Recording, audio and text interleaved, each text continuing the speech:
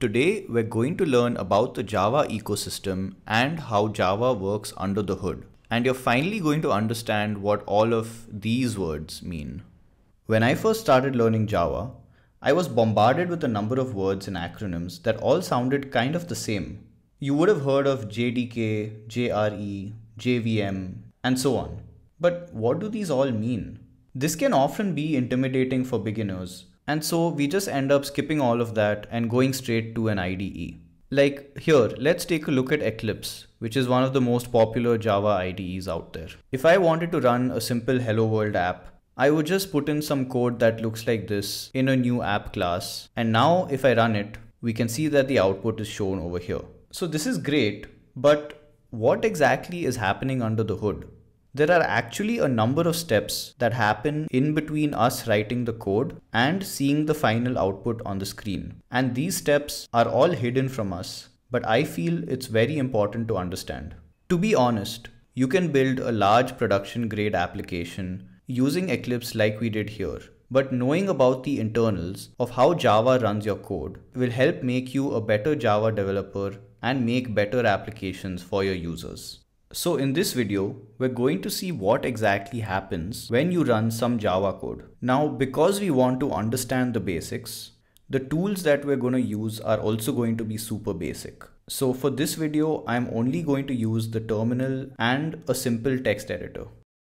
So when you first install Java on your machine, it comes bundled with a bunch of commands that you can use. For example, javac, Java P, and the Java command. We'll be using these commands throughout this video.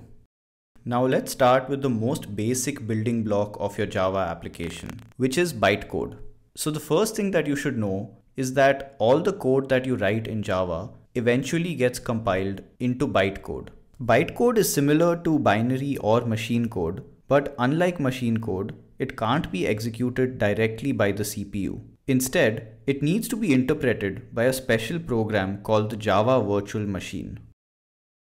So it's the Java Virtual Machine that actually runs on your CPU and all the bytecode that your Java code compiles to runs on the Java Virtual Machine. This might seem unnecessary at first, but it's actually because of this in-between layer that you can be sure that any Java code that you write will run on any machine that the Java virtual machine supports. So whether you have a Linux system, a Mac, or even a Windows system, as long as the JVM is running on it, your Java code will run. And because the JVM has been in development for so long, it has good support for almost all operating systems. So to actually see this bytecode in action, Let's create a simple Java program and compile it. So to keep things simple, let's run everything from our terminal. Let me just create a sample directory here called com.sohamkamani. And within this directory, we can create a file called helloworld.java. Now let's add a basic Java program. I'm sure you would have seen a program like this many times, and it just prints hello world to the console. So to compile this code, we can use the javac command line tool that gets installed along with the Java development kit. This will generate a new file called helloworld.class in the same directory which contains the bytecode for our program. We can actually even see the bytecode for ourselves using the javap command. Now, bytecode is not supposed to be human readable, so don't worry if you don't understand what's going on here. The important thing to note is that this is the low level code that will be executed by the Java virtual machine. But since this program is so simple, you can kind of tell what part of the bytecode corresponds to what part of the original code. Like you can see the class definition over here and the main method definition over here. And I'm guessing since this is the class that has the main method, this part over here instantiates a new instance of this class to run. But let me know in the comments if I'm wrong. Now, if we actually want to run this code, we can use the java command. To do this, we'll first have to go to the root directory, which is the directory before the com slash soham sohamkamani directory. From here, we can run the java command along with the full name of our class, which in this case is com.sohamkamani.helloworld. So now Java will look inside the com slash sohamkamani directory for the helloworld.class file and run the bytecode within that file. In our case, this would be the familiar hello world output. Now let's talk about the JRE or Java Runtime Environment and the JDK or Java Development Kit. We actually used both of these when we ran this code just now, and they both play a crucial role when running and developing Java programs.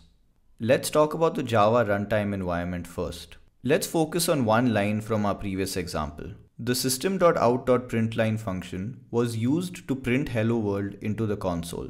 And if you've used Java for some time, I'm sure you would have used it quite a lot. But if you think about it, we never really defined this function anywhere in our code. So where does it come from? So the answer to that is that it's part of the Java runtime environment. The JRE is a collection of libraries and components that are responsible for making sure that your Java code executes efficiently. Note that the JRE also includes the JVM.